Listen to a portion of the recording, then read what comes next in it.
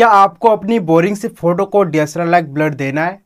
क्या आप भी अपने नॉर्मल से फ़ोटो को डीएसएलआर लाइक ब्लर देना चाहते हो? अरे हाँ भाई हाँ। तो गाइस ये वीडियो सिर्फ़ आपके लिए है। मैं इस वीडियो में बताऊँगा कि आप कैसे अपने नॉर्मल से फ़ोटो को अपने बोरिंग से फ़ोटो को डीएसएलआर लाइक ब्लर दे सकते हो। एंड फ़ोटो का एजेस भी बहुत ज़्यादा सॉफ्ट रहने वाला है। जैसा डीएसएलआर में ब्लर होता है वैसा बिल्कुल आपको करके दिखाऊँगा एंड आप भी कर सकते हो। वीडियो अच्छा लगे वीडियो को लाइक कर देना चैनल पर न्यू चैनल को सब्सक्राइब कर देना चलिए स्टार्ट करते हैं। अपने फ़ोटो का बैकग्राउंड ब्लर करने के लिए आपको पिक्सार्ट एप्लीकेशन का ज़रूरत पड़ने वाला है, उसे आप इंस्टॉल कर लीजिए। अब आपको पिक्सार्ट में अपने फ़ोटो का बैकग्राउंड इरेज कर लेना है। आप चाहो तो ऑनलाइन भी इरेज कर सकते हो बट आपको जैसे चाहिए इरेज कर लेना है। बट आपका हाई क्वालिटी में वो अच्छा हो, ठीक है? तो मैं अभी जल्दबाजी में करके दिखाता हूँ बट आपको अच्छे से करना है। बिल्कुल परफेक्टली आपका एजेस बिल्कुल सॉफ्ट रहना चाहिए। तो मैं कर लेता हूँ आप भी कर लीजिएगा। अब इरेज करके आपको फ़ोटो कर लेना है सेव फ़ोटो सेव कर लेने के बाद आपको फिर से उसी फ़ोटो को ओपन करना है पिक्सार्ट पे देन आपको टूल्स पे क्लिक करना है। फिर आपको क्लोन पर क्लिक करना है। क्लोन पे क्लिक करने के बाद आपको अपने फ़ोटो को क्लोन के हेल्प से पूरा इरेज करना है, जो भी आपका सब्जेक्ट है इस फ़ोटो में। तो मैं जैसा कर रहा हूँ, आपको भी कर लेना है, बिल्कुल परफेक्टली करना है आपको, ताकि बैकग्राउंड बिल्कुल रियलिस्टिक लगे।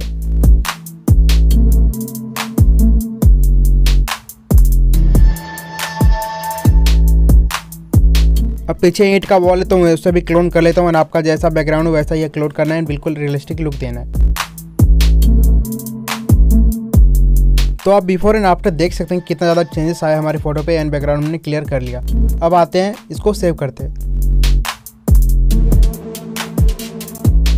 फ़ोटो सेव हो जाने के बाद अभी आपको इफ़ेक्ट पर क्लिक करना है। क्लिक करने के बाद यहाँ पर आपको ब्लर पर क्लिक करना है। अब ब्लर्स पे जाने के बाद आपको यहाँ पर जो ब्लर आपको अच्छा लगे उसे अप्लाई कर लेना है। आप चाहो तो लेंस ब्लर भी कर सकते हो या फिर नॉर्मल ब्लर भी। बट मैं नॉर्मल ब्लर करने वाला हूँ क्योंकि इसमें ज़्यादा डेप्थ आता है एंड ज़्यादा ब्लर होता है। तो मैं उसे सेलेक्ट करता हूँ इसका इंटेंसिटी अब मैं बढ़ा लेता हूँ।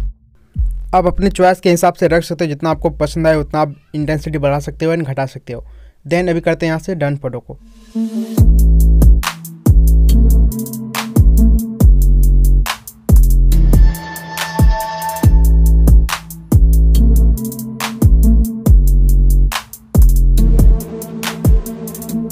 अब आपको अपना पीएनजी फ़ोटो लेना है, जो आपने पीएनजी किया था, उसे आपको इंपोर्ट कर लेना है। इंपोर्ट करने के बाद आपको बिल्कुल अच्छे से इसे एडजस्ट कर लेना है। ताकि बिल्कुल पहले वाले फ़ोटो के जैसा ही लगे तो मैं अभी अच्छे से एडजस्ट कर लेता हूँ। देन आगे दिखाता हूँ क्या करना है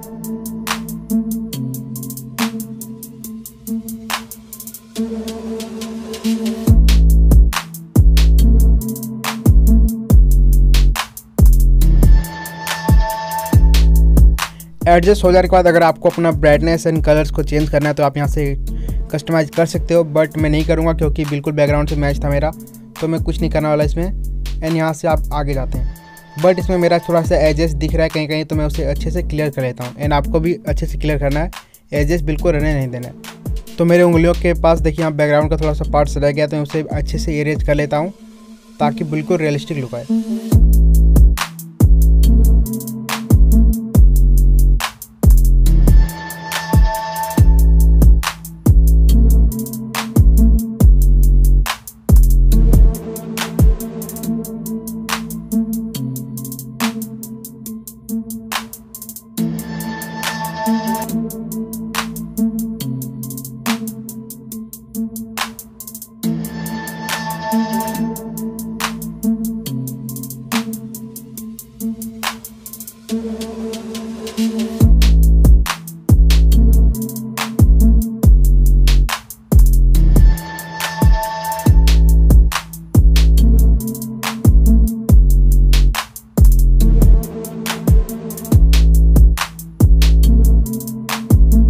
इतना करने के बाद आपको फ़ोटो कर लेना सेव एंड आप देख सकते कितना ज़्यादा चेंजेस आया हमारे फ़ोटो में, पहले कैसा था बिफोर एंड आफ्टर तो आपको भी करना है, वीडियो अच्छा लगे, वीडियो को लाइक कर देना।